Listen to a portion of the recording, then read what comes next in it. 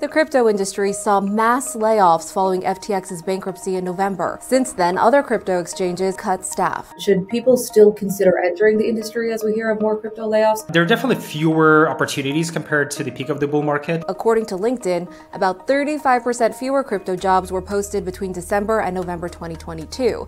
And when comparing December to the same time the year before, crypto job postings dropped by nearly 57%.